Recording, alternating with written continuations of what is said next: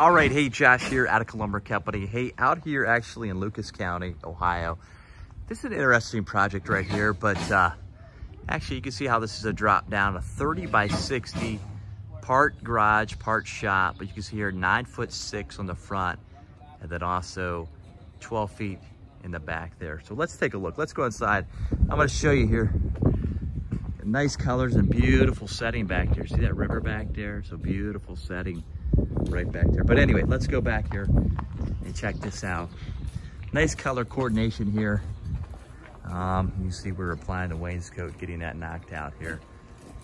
So nice color coordination, soft colors that matches the house. But let's take, take a look at actually the, um, the fascia here. You can see the fascia, a lot of times the fascia, what you'll see is white. But again, fascia can come in different colors. You can see that's almost like a, uh, a tannish color. And again, matches really the, the sidewall steel here. And then also the outside corners of this overhead door opening. But you can see we're getting prepped up here on this section, the 30 by 30, the nine foot six section, the garage section. You can see we get the baffles lined up. And then if I go over here, you can see we got them all lined up as well. But what we're gonna do is we're gonna blow in R19, actually on the sidewall, we're gonna blow in R19 insulation. And then on the ceiling, we're gonna blow in, not blow in, we're gonna put in R19 insulation on the sidewall. And then on the ceiling, we're gonna blow in R25 insulation. So, and then we're gonna come back once the concrete's poured, we're gonna have to get this site up a little bit, but we got it set up here on the partition portion of this. You can see how we got that set up. We're gonna put a partition, we're gonna run it right there. So we're gonna divide the garage.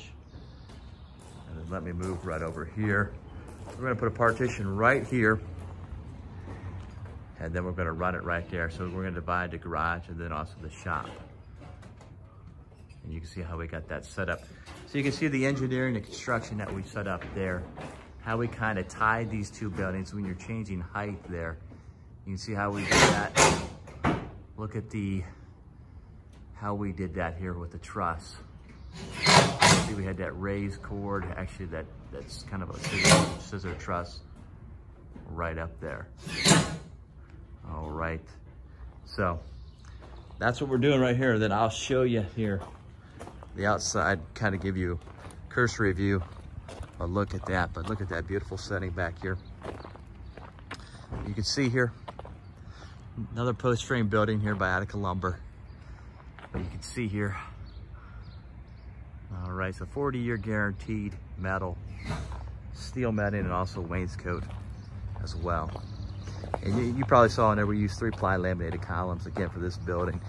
Again, I guess 30 width, not extremely wide, but uh, you know, three ply laminated columns given the cost structure still makes a lot of sense to use those. So there you go. There's the building there. So another quality project again by Attica Lumber. More information, check out the website. Keep on the journey, atticalumber.com.